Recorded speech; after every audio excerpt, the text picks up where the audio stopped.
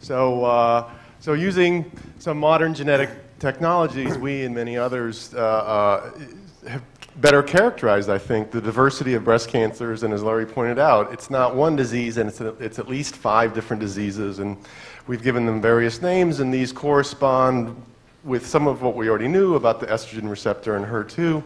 Uh, but one of the new disease types, uh, which will subtype or the triple negative type, is this uh, very aggressive type, and we can actually see that the biology of this disease often changes depending on your race or your age, or you know, maybe not the biology, but the frequency changes with race and has age.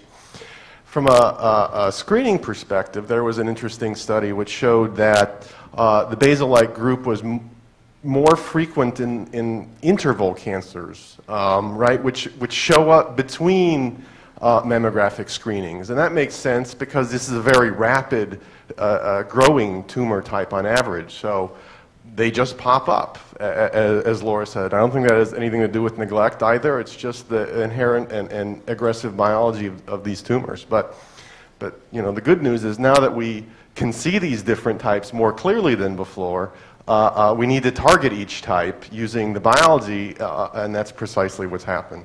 Excellent. Chuck, thank you.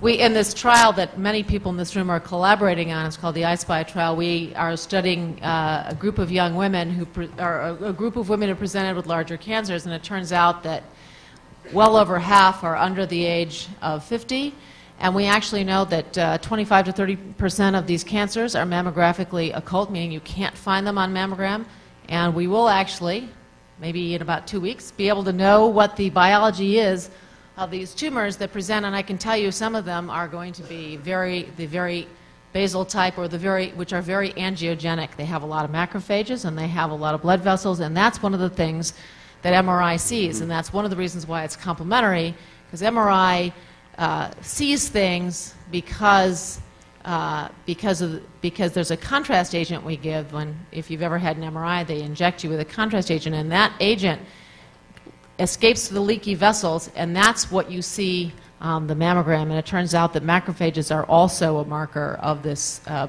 uh, uh, a lot of the uh, tumors lighting up.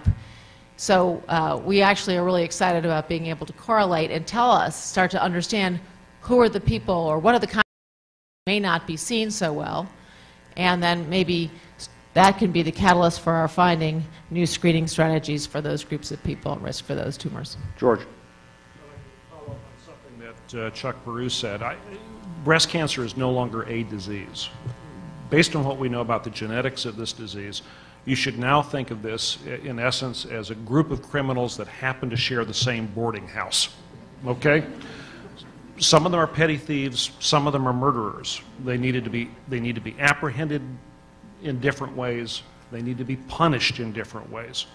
And getting back to what we were saying earlier about targeted therapy, why this is so crucially important, why the new genetics is so crucially important, is that it will allow us in the future to avoid treating women with drugs that don't work, thereby avoiding the toxicity to, the, to those women, and will allow us to give the right drugs to the right people and cure their cancer.